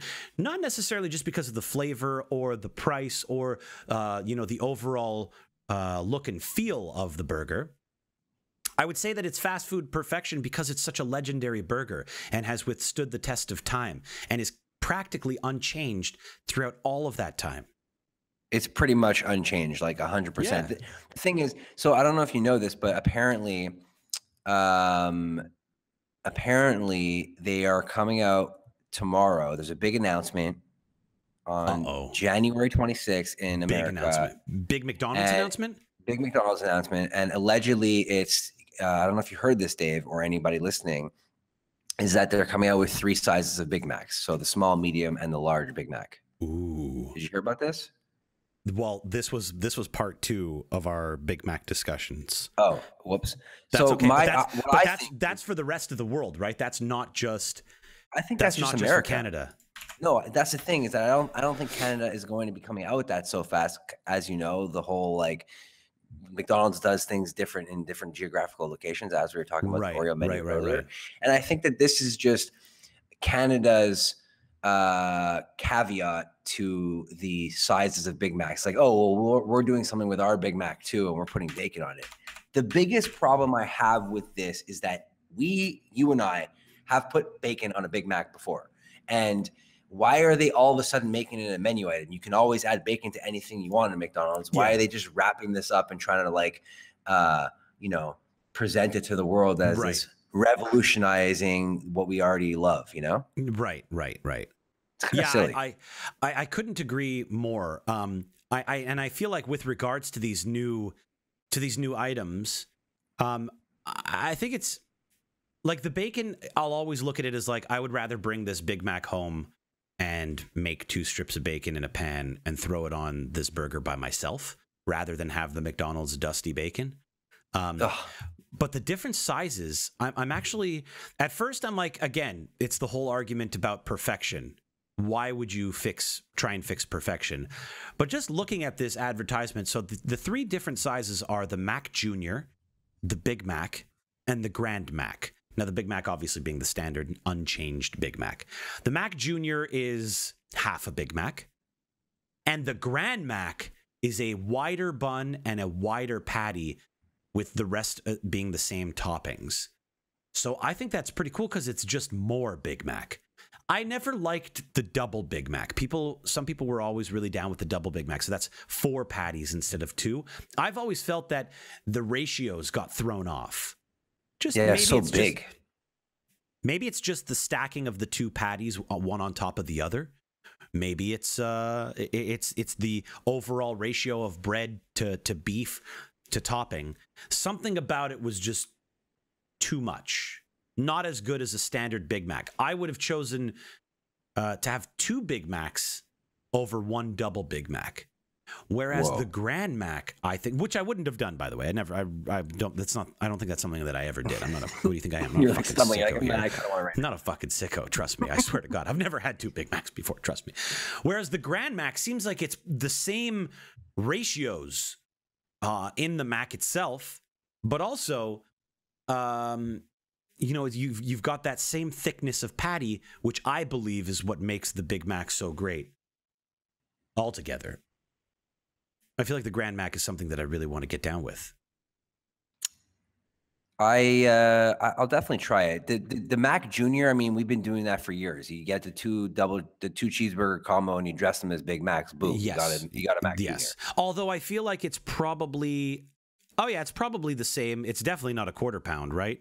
Well, no, you. The thing is, when you did that that hack, that McDonald's Yeah, hack with the two, you the hack, never, yeah. you didn't get the sesame seed bun. You know, you didn't Right. get that. I guess the sesame seed bun is the biggest difference, whereas I feel like that's borderline not necessary. Yeah, it's neither here nor there. It doesn't like make or break the sandwich. Just to be honest. This is going to be on the 26th of January, which is tomorrow. I'm very curious to see if this is going to be in Canada or if it's going to be exclusively in the United States. Uh, I would very, very much like to try that Grand Mac just to see if my theory is correct in that it's the same ratios, the same flavors, the same consistencies, just more Mac. Should I go Um, tomorrow and get yeah, three you- three Big Macs or what? absolutely should. You should try them all out and you should really compare and contrast. And also if they I don't know if they still have it, but the double Big Mac, I'd be very curious to see um, you know, how much better or worse the double is to the Grand Mac. Maybe I should get a double Big Mac and a Grand Mac and side by side compare. Yeah, yeah, yeah, yeah. I think so. We- And you should check out what's under the hood. You should check out what they look like. Are they going to put in more effort to making the Grand Mac because it's a limited time new menu item, uh, uh, a new take on a classic? Are they going to be extra careful to make sure that this burger is built to perfection.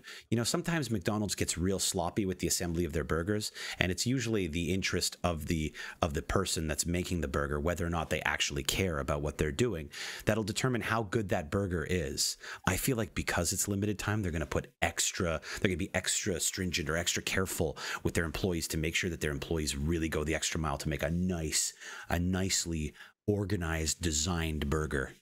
Yeah, I want to see. That's why I'm going to go right away and get it to see if Yeah. uh, if like they care that much. I Yeah. feel like they I feel like they will for for something like this because it's limited time. I mean, I guess listen, bottom line is uh, I, I like the idea. Uh, I'm I'm not so excited about the prospect of changing up something classic like the Big Mac, uh, but I am very much down with this Grand Mac. I think the Grand Mac is an exciting prospect because there's some times when I'm I'm leaving the bar at three in the morning and I need to have a snack and I'm going to go for the Big Mac, and oftentimes the Big Mac is just not enough. You just want are- a couple more bites, There right, are Dave? bigger burgers. Like if you were to go get a, a Baconator, for example, that is a bigger burger. Ah, by far. delicious burger. And if you get the, uh, uh, I don't know the, I don't know how many people know about this move, but I like to get the Baconator all dressed like a double cheeseburger that they have. So you get the lettuce, the tomato, the onion, the pickle, and all of the condiments that you get on the regular Wendy's hamburger. It takes the the Baconator to the next level. So it's the same patties, the bacon, all that jazz that you're nice and used to, but it's also got all the toppings of of the standard Wendy's burger. I personally think that that is a bigger burger, a more um more, more voluptuous filling, patty. it's definitely a more voluptuous. I think it's also more expensive, but it really satisfies all cravings. Whereas sometimes a Big Mac by itself, I still got to steal like two or three chicken nuggets from my wife, you know? Yeah, I um couldn't agree more with you. I've never done the extra ingredients on a baconator personally. You should try that. It's a I've been. I've been doing Wendy's no vegetables for years. Like before the Baconator was even a thing, and they Ah. had the Big Bacon Classic. I was usually getting the Big Bacon Classic, no vegetables. I'm I just like that. No, and I also I respect that, but uh, pr- that was primarily because back then I found that Wendy's burger ingredients kind of sucked. They've recently, and I don't know if this is the states uh, the same in the, in the United States of America, uh, but in Canada, the the toppings are so much better than they once were. You actually get fresh toppings, and they actually fit the burger nicely. So I I implore you, Josh, give that a revisit Yeah, I'm definitely gonna have and, to try and, and do that. and I would say, depending on the price point of this Grand Mac, that might be the comparison. That might be the fair comparison. Maybe not, maybe not a Baconator, but the Wendy's double cheeseburger. Maybe. I personally, Wendy's has always been my favorite fast food. I know you're a, an A and W man yourself. No, um, Wendy's on like the global scheme. Yeah, yeah. Yeah. Wendy's really holds it down. So I would like to compare those two, Grand Mac and the Baconator, or sorry, and the double cheeseburger, and uh, compare price points. Yeah, it's not and that. and that would be the, that would be the head to head that I would like to see. My money would still be probably on the Wendy's burger, just because of the freshness of the patty and the toppings. But gotta respect the Big Mac. All right, so Got. I'm, I'm doing it tomorrow. Grand Mac. good. Large your boy. Next topic: Next. inside Nutella. Oh, This is a scary thing. this is a scary thing. scientists reverse scienced Nutella and found that they may or may it may or may not be pretty bad for you. Yeah, all these years, we all thought Nutella was just a really healthy chocolate spread. I don't know, but I don't think anybody did ever think it was really healthy. And I don't know if you remember there was there was also like a big uh there's a big Lawsuit. controversy. There's a big yeah lawsuit. That woman she was giving her kids or some I, I didn't read all I don't remember exactly what it was years ago. That woman fed her kids Nutella every meal of every day and now her kids are all sick and she's like, "What do you mean? They say that it's a great meal supplement." That is Yeah, not They got you. None of that is true. None of it is true. They got her. They tricked her real good. How come I can't pull up the? I'm trying to pull up the actual. They show the layers of what's in it, and it's just not. It's not pulling up. But it turns out that it's, they, they're suggesting it's got a ton of palm oil in it, and the palm oil uh, is carcinogen, carcinogen, carcinogenic, carcinogen, carcinogenic. Uh, claims that its palm oil ingredient could be carcinogenic, and now a, an image uh, has been going viral of what is in Nutella. So let's let's show this over here to everybody.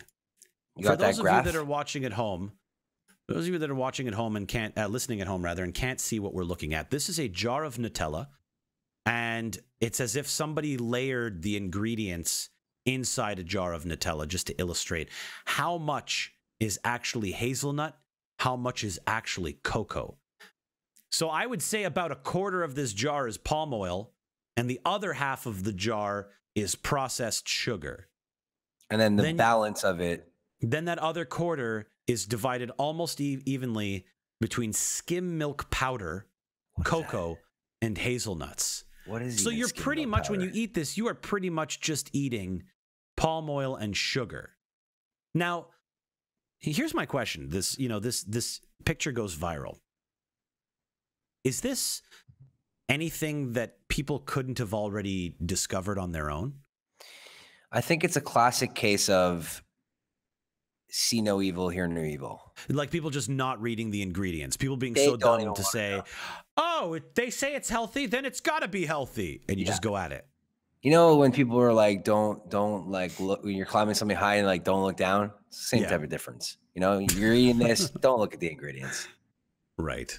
Just know what I mean? trust us. Trust us. We're telling you that it's healthy. But They taste delicious. That's enough. I guess that's the point of this this story altogether is that for those of you that still think that Nutella is healthy for you, for those of you that think that Nutella is a good uh, addition to every meal and part of a balanced diet, um, it's not. There is No, but- nothing in this thing that's healthy. What like hazelnuts? Are hazelnuts good for you? Uh, Ha- yeah, are hazelnuts apparently. by themselves good for you? Apparently, per- personally, I'm allergic, so yeah. So you you you can't even really weigh in on this because you've never even tasted Nutella. Oh no, no, I have tasted Nutella. I it's a you know my new my new allergy. It's a it's a newer it's a newer thing. It's a newer thing. It's a newer recent thing, so development in to eat Josh's life. Is his allergy? I used to eat Nutella, Yeah. um, and it was delicious. But it for the for years, I I never knew that it was hazelnut. I just thought it was Reg's chocolate, Right. and then and then I realized it was hazelnut. Apparently, hazelnut's good for you. It's a tree nut. It's got protein in it. I'm sure there's other f- healthy bits, perhaps maybe not. I don't know.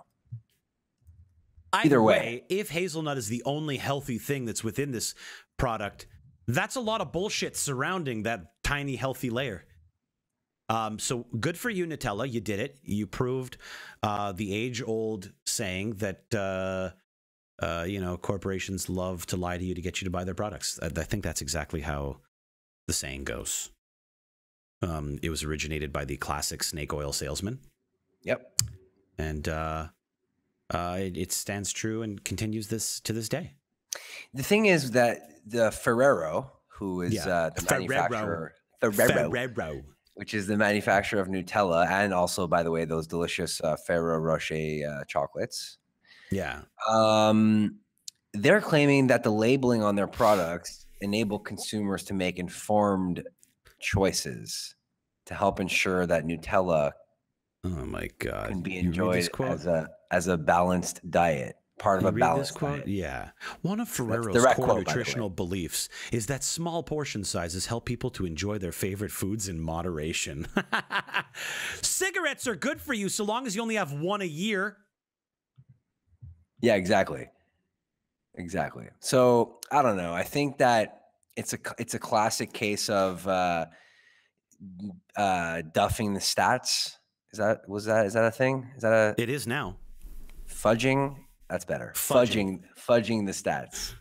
You, get- you see what I did there? Can you tell that? Fudging. it's not even fudge though. It's horrible. I don't think. Listen, here's the deal.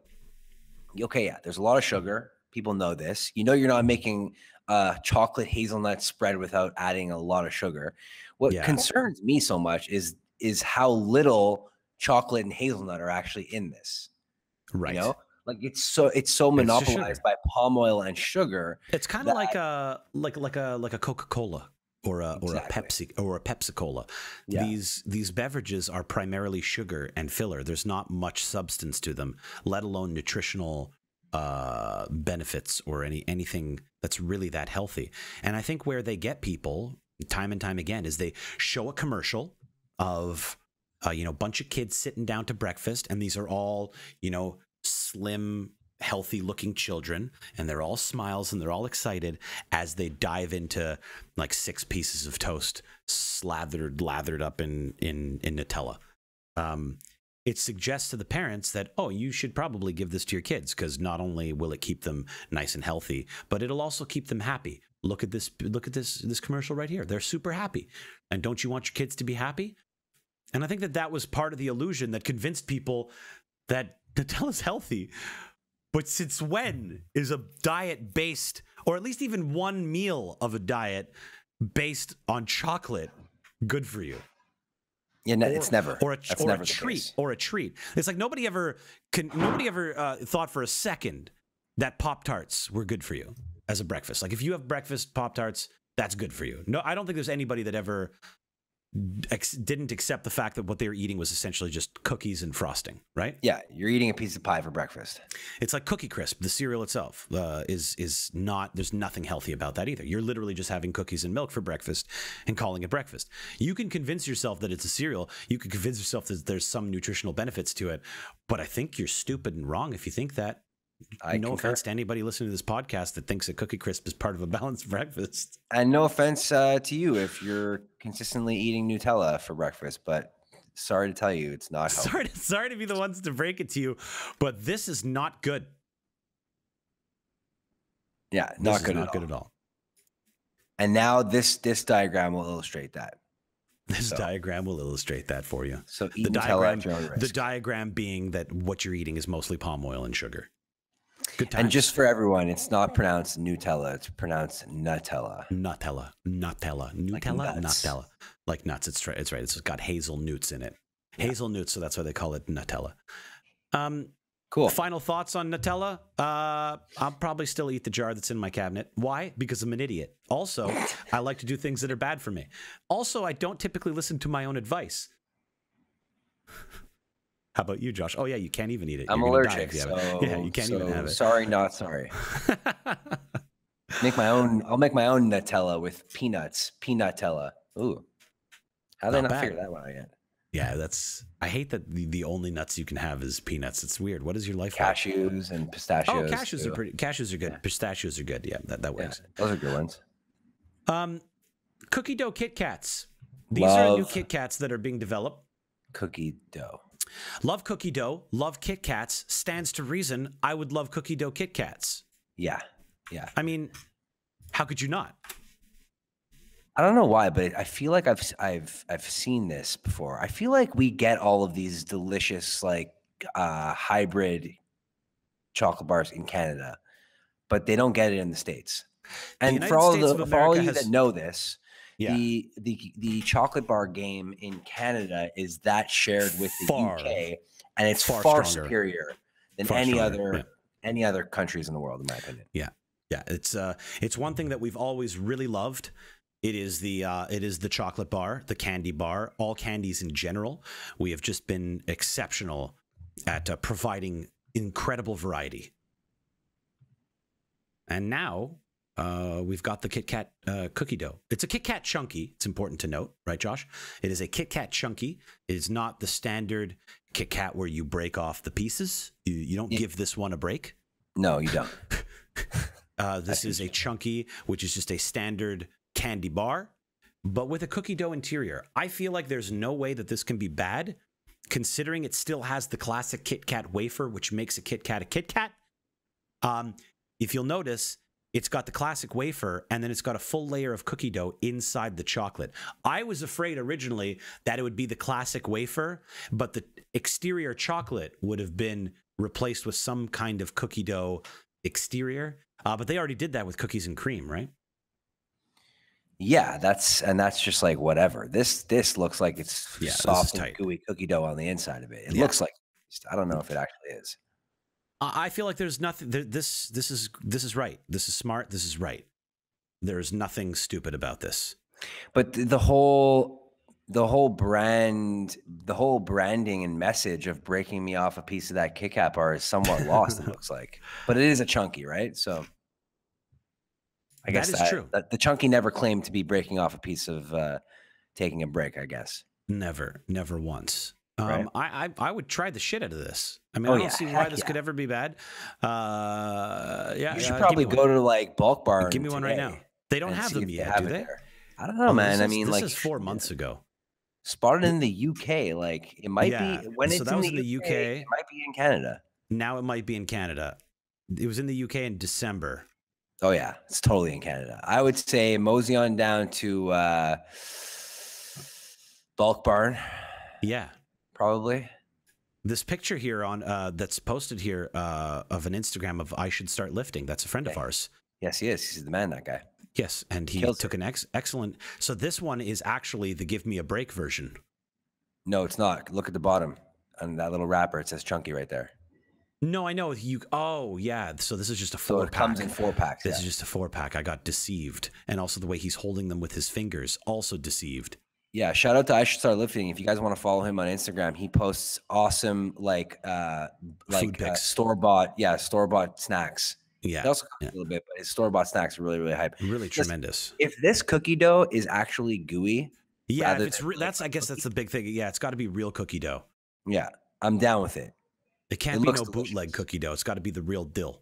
I'm just not about that bootleg cookie dough. I'm sorry. You know, and and the other thing though, forget just bootleg. I find that cookie dough is one of those things you could be like going in super hard on cookie dough, and then you hit the wall very, very quickly.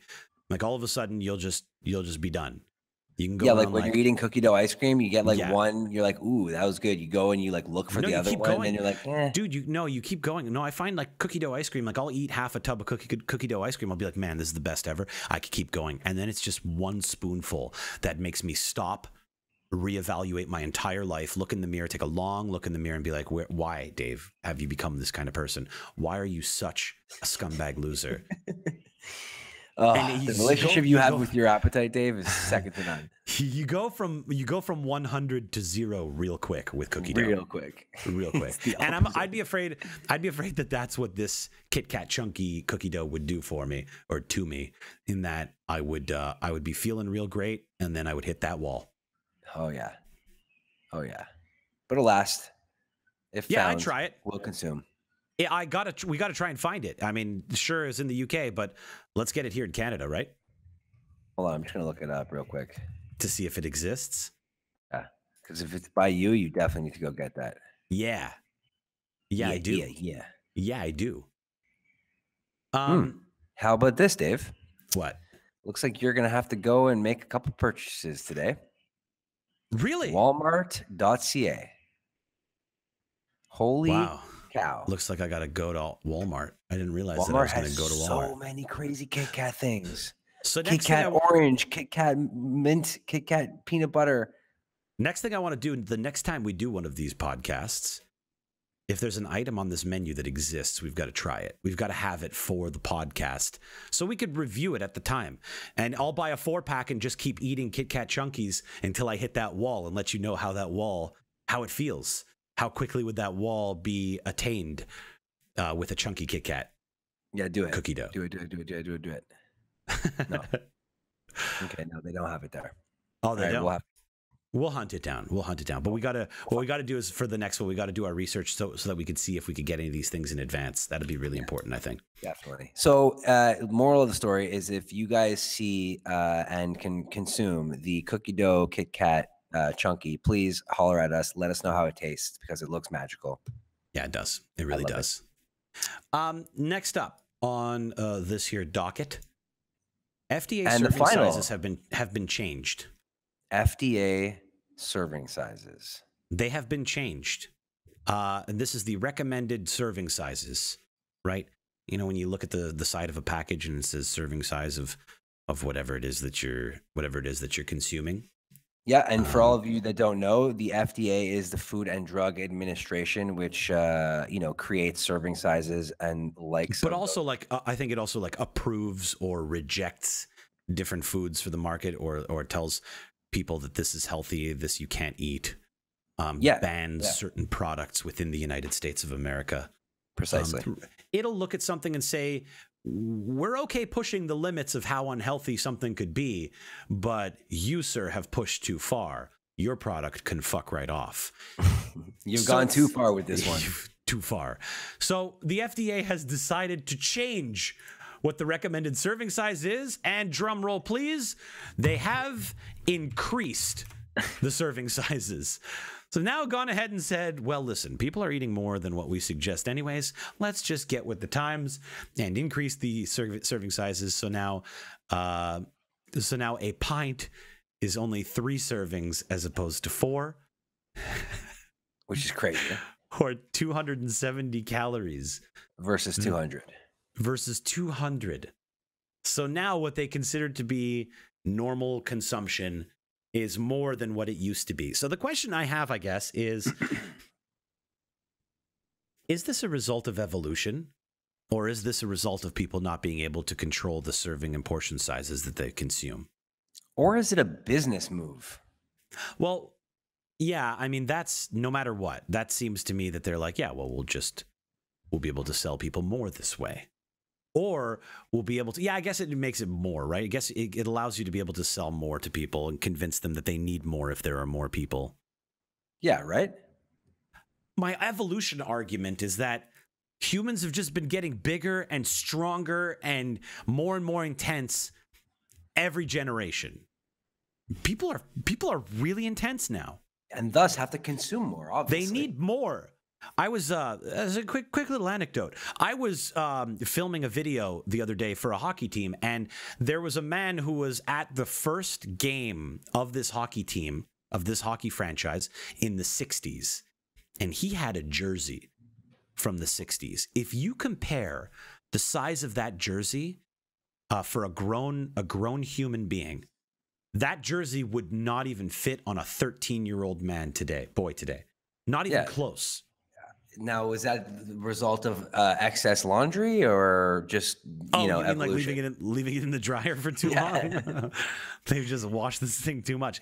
That's a good point. I guess it could be the uh, laundry and uh, the, uh, uh, you know clothing care is is definitely more advanced these days.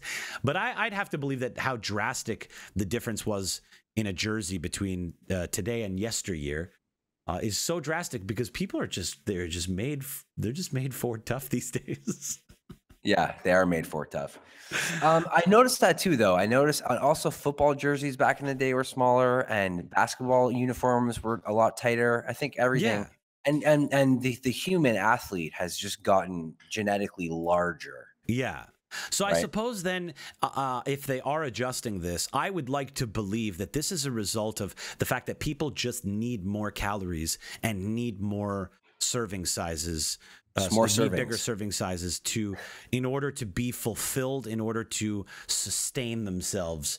What I'm afraid of is that this is going to encourage people to consume even more and will um, you know, make obesity even more runaway than it already is. Although I don't know how much people are actually like. d- Do you ever look at something and think like, oh, uh, the serving size is is this, so I'm only going to eat this much, or you just go in on how much you want until you're satisfied? Uh, it really depends on what I'm consuming. I think that I always like to, like, I always check just to know if it says like there's tw- 270 calories in Right. one serving, and I just had, and one serving is, you know, 14 chips, and I just had 30 chips. I just want to mentally do the math and be like, oh, I just consumed insert amount of calories here for fun. It doesn't Right. change what I'm doing. Um, and I think that this is really just a result of people uh, not not following those regulations. Like someone who's like, okay, I'm just gonna have one serving of this because my diet says I need to have one serving, and then they end up having seven chips, and they're like, that was that was nothing. What the heck is this? I'm gonna, have, I'm gonna have 170 more. Yeah, exactly. So I think it's a it's a result of dieting. Certainly, I think it right. has it's a direct relation to that. Right. Um, and I and it's probably also a business move. You know. Yeah. On, get people on, to buy more food companies and stuff. Maybe. Well, as as a as a human being that is substantially larger than you are, Josh, both uh, in height and weight, uh, I will be the first to say that I practically never look at the labels. That I know that's probably bad of me. Uh, I probably should be a little more health conscious, or at least understand a little bit better what is entering my body. Um, but I don't. I don't give a shit. and this to me personally this won't change anything because i'm the kind of jerk that snacks or eats or uh, full meals are based on being just uh, hunger satisfied um, I eat because I'm sad, and I'm sad because you because are because I eat.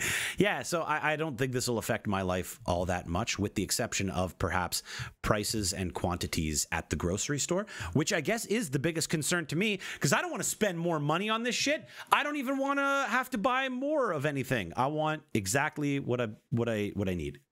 Well, Fortunately for you, Dave, Dave, uh, the FDA is exclusive to America, so none of this matters.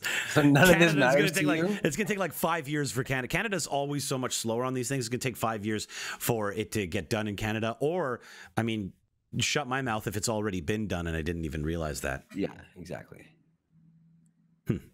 Cool. Interesting. Interesting to see how this affects the market interesting little tidbit of uh, food regulations over here. Food informations. Yes, totally. Well, that uh, that there, Josh, brings uh, us to uh, the end of our, our our here podcast. Yep. Um, I feel like we covered a lot of important topics, and the biggest I takeaway from today's episode for me is fuck Valentine's Day. I, you know, I was about to say the same thing, except while you say fuck Valentine's Day, all I really want are those white chocolate cheesecake M&Ms. It's really all I want. I, I, am actually very excited about the uh, the the Big Macs. I think that that's going to be interesting. Um, I'm also also really excited to see you try a 7-Eleven breakfast pizza. I think you are obliged now to at least buy it, take a picture of it, and take one bite and let us know what it's like. Please. I know you're right. I, am gonna have to wake up. oh shit! We totally forgot about something last week you ended up going and trying that Taco Bell sandwich. Uh, I didn't actually end up going. Oh, you didn't get to go to the chicken sandwich. No, All right. Well, we'll save it for next time then.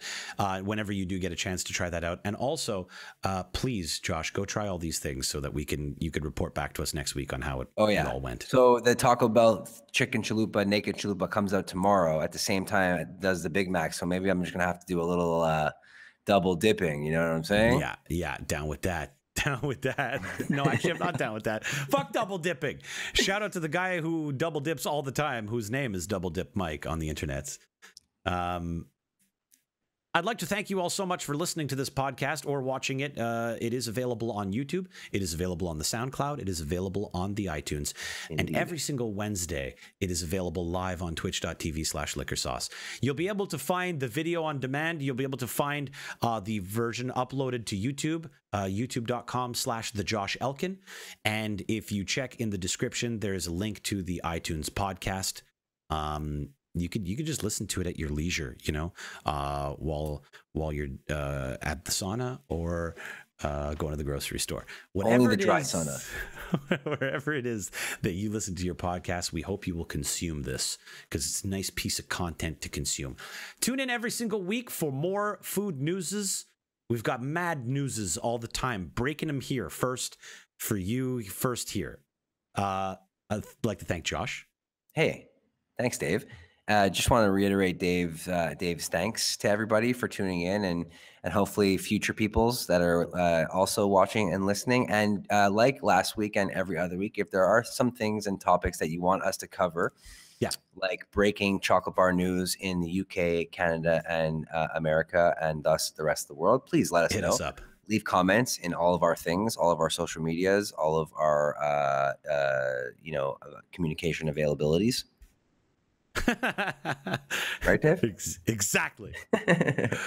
um, that's all we've got for today, this week, and uh, we love you all, and we'll uh, you'll listen to or see our stupid faces next time.